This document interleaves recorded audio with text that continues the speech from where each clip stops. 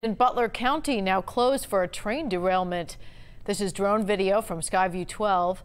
The train derailed about 4 this morning near the intersection of Hamilton Eaton Road and Trenton Oxford Road in Wayne Township. It's a Norfolk Southern train and several rail cars are now on their sides. Butler County's Director of Emergency Management gave an update on this situation.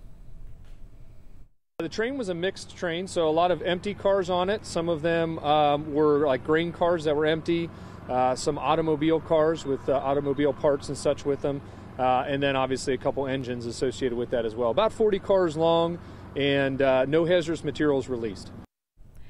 We are told that no one was hurt, and local and regional crews are at work right now trying to get the cars uprighted.